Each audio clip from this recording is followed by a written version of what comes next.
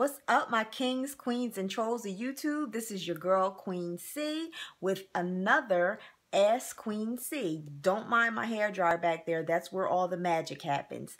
Okay, so here's today's question. Dear Queen C, let me start off by saying I like your videos. I just watched the ones on leaving and cleaving, and they were very good. I'm a Christian woman and I would like to be able to share your videos on my page. The problem is I may offend my other Christian friends. Yeah, the problem is I may offend my other Christian friends. My question is, don't you think your videos may be shared more if you probably didn't use so much profanity? Be encouraged, Patricia. Okay.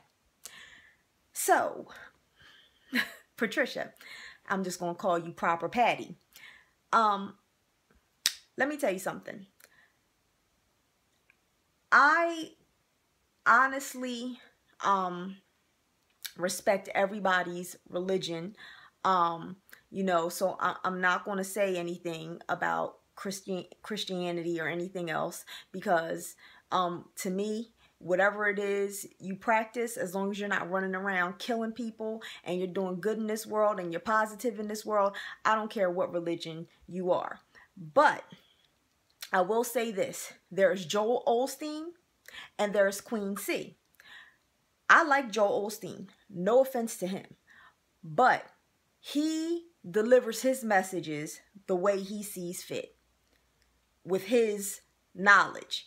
I deliver my messages the way I see fit with my knowledge. Now, I have grown up under domestic violence.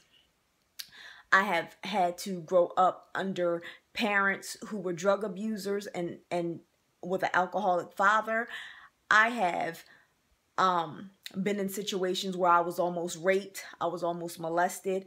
Um, I have had to fend for myself at a very early age. I had to drop out of high school to take care of my younger brother. There are so many things that I've gone through in life. I've been married twice and I've been divorced, of course, once. And I have had in-law problems i've had friendship problems you know i've had situations when i was younger to where um you know i didn't know if i was going to be able to eat, if there was going to be food on the table. You know, I had to struggle. My life was a struggle. So, because I am passionate about my life and I am passionate about the things that I've gone through, I express myself the way I feel. And sometimes that comes with profanity because that's how the fuck I feel. I'm passionate about what I have to say. Because when I was going through these things, there was no YouTube, there was no social media, there weren't any outlets. You know, I had to go basically to church. I was forced, you know, to go to church up until I was old enough to make a conscious effort and say, I don't want to go here. Now, while I was in church, I seen so many terrible things. You know, I, I attended a church where the pastor was a hypocrite.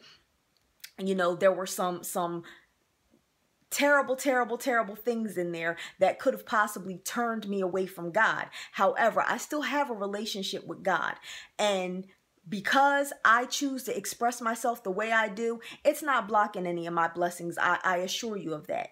When I was a young girl, I remember going to South Street in Philly and it was me, um, quite a few guys, and another one of my girlfriends. And we were running around and we were playing around. And one of my guy friends, he, you know, grabbed me up but he was just joking. But there was a bum actually sitting there, and the bum didn't know he was joking. And the bum said, Oh my God, I sure hope that isn't your boyfriend because you don't deserve to be treated like that. You should be treated like a queen.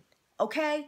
So now, here I am, a young girl, and the first time that I ever had been told that I should have been treated like a queen was by a bum on the street.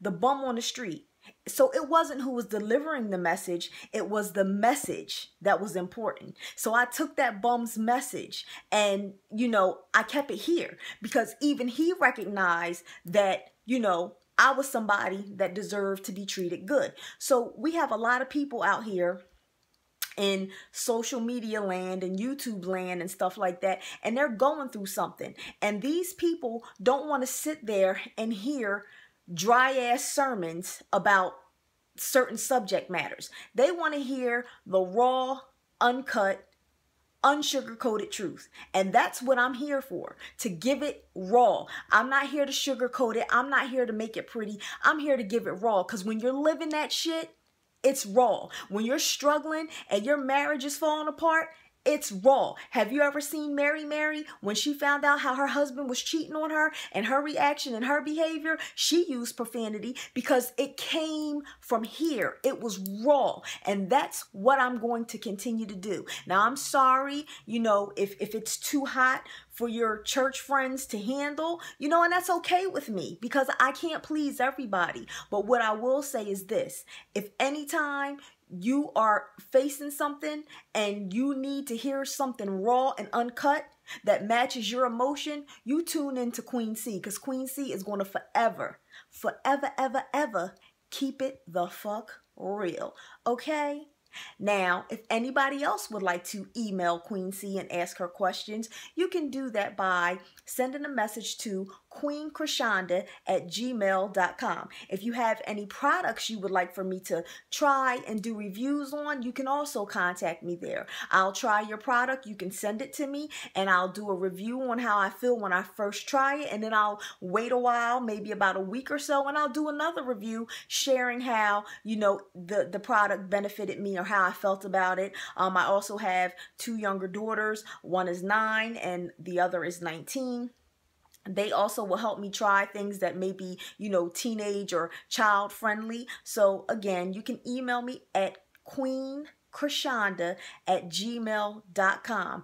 And Proper Patty, I thank you for emailing me. I hope you continue to watch my videos, even if it is your dirty little secret. You don't have to share it with your Christian friends, but you never know who may actually benefit from my videos. So if you want to share it, put a warning up.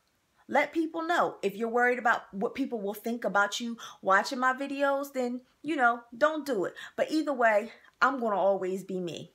Peace from the C Hive.